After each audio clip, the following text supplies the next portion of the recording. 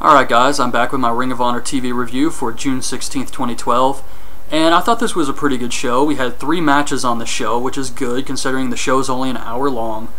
And I thought they were all...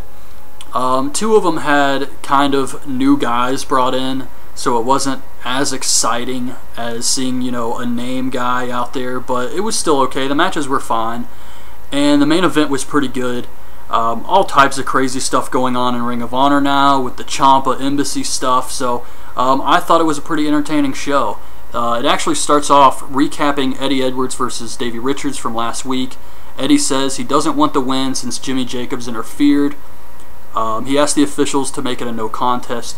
Uh, a lot of stuff really pushing Eddie Edwards as a babyface here tonight. Um, the first match is Mike Bennett versus Adam Page. Um, he is a I guess a guy from West Virginia who's a tobacco farmer is what they build him as, and um, I thought he was okay uh, in this match with uh, Bennett. Nigel says on commentary that Brutal Bob's birth certificate is an apology letter from a condom factory. so Bennett gets the win with the TKO. Uh, afterwards, Bennett and Brutal Bob beat up Page. Uh, Maria's about to slap him. However, Eddie Edwards makes the save, scares them off. Bennett says Eddie can't beat anyone, and has him uh, challenges him to a match with Brutal Bob for next week. So Eddie, of course, accepts this. So that should be interesting with uh, Eddie Edwards versus Brutal Bob next week. Um, then Steen, uh, Steen, Steve Corino, and Jimmy Jacobs come out. Corino says that Cornette's been ignoring the champion. Uh, Steen says next week him and Jimmy Jacobs are wrestling Kyle O'Reilly and Davey Richards. Says that he's still waiting to find out if the package pile driver will be legal for Best in the World, and says that he wants no disqualifications, anything goes for his match against Davey Richards. Um, that's going to be awesome. Uh, I I know the Border Wars match was good, and Steen can work a regular match, but his just anything goes matches are uh, always awesome, and I'm really looking forward to this match now. I have to say that with Best in the World, I feel like it's more the same, and I wasn't really into the show so far. Um, it's Adam Cole versus Kyle O'Reilly again, All Night Express versus World's Greatest Tag Team, and I mean, it just doesn't feel like a big show. However, Steen versus Davey Richards in a no DQ match, that's actually got me more excited for the match. And some of the other stuff, they've been doing decent build with All Night Express, World's Greatest Tag Team and I think they're you know adding more and more stuff to the show, which is good because uh, the Guardians of Truth stuff. I'm interested to see that, and I'm definitely going to buy the pay per view. So um, I'm glad that they're adding these other matches and stipulations because before it was just kind of bland, and I feel like oh we've seen it. But uh, so then the, the Briscoes come out. They wrestle Sam Shaw and QT Marshall. Um, I think that's a pretty horrible name. Uh, Truth comes out, he does commentary. The Briscoes win with the Doomsday device. It was a good match. Uh, Truth gets on the mic and asks the Briscoes if they're going to accept his challenge uh, to wrestle the Guardians of Truth. Jay accepts. I still have no clue who these guys are. All I know is Truth always says when you find out, you're going to be running for the hills.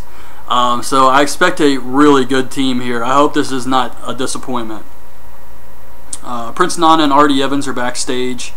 Same thing as last week. Nana seems pissed off that Ciampa still wants to go after the TV title. R.D. Evans cuts him off. He's trying to do damage control.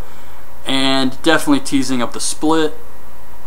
Fit Finlay promo on how he's going to be the one to stop Elgin.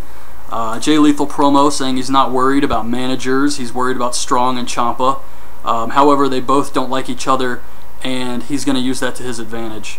Uh, Davey Richards says that he wants revenge and Kyle O'Reilly needs to stop whining. Then they play a video package for Ciampa. This was pretty good.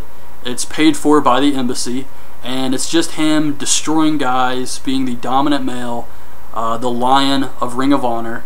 And I thought it was good. Makes him look like a monster. Um, Roderick's freaking out backstage on Truth uh, for having to wrestle Ciampa tonight. And then we get the main event, Roderick Strong versus Tommaso Ciampa. Um, Barrister R.D. Evans tries to distract the ref, and Prince Nana gets in the ring. However, Strong punches him, and he goes back out. And then when he turns around, he gets hit with Project Ciampa, and Ciampa pins him. He's about to win the match, and Nana gets in the ring and just beats up Roderick Strong. So Ciampa loses by disqualification. Afterwards, uh, he's really pissed off. He takes Nana's crown, he throws it down on the ground, and then he storms away. Uh, so they're definitely teasing this. However, I don't know what they're going to do because the embassy doesn't have any other guys. Um, I assume they can always bring somebody in to keep the embassy going, but uh, yeah, I'm not really sure if this is going to be Ciampa turning babyface. Right now, he's just acting crazy. He's losing his mind. Uh, that's the gimmick. He's going out there and he's just destroying people. He was, uh, he looked good. He looked like a monster in this match with Strong. He was yelling at him and uh, all types of stuff. So his thing right now is he's just going crazy, kind of a loose cannon gimmick. And I think it's working. I'm a fan of Ciampa.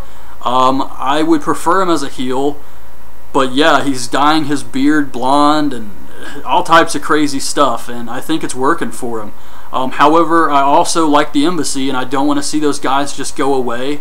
I like Nana and R.D. Evans. I think they have good chemistry together and hopefully they'll have a good guy come in who they can manage and really make the embassy strong again.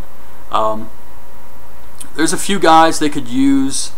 Uh, I hope they bring in someone new because Ring of Honor definitely does need some new guys.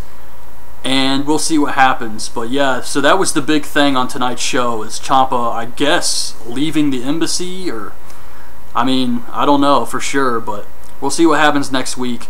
I do know that next week's going to be awesome with a tag team match. Eddie Edwards versus Brutal Bob. That should be interesting, but the tag match is what I'm really looking forward to. Uh, and that will be, I guess, the go home show for Best in the World. So I'll probably get my predictions of Best in the World up a little bit later.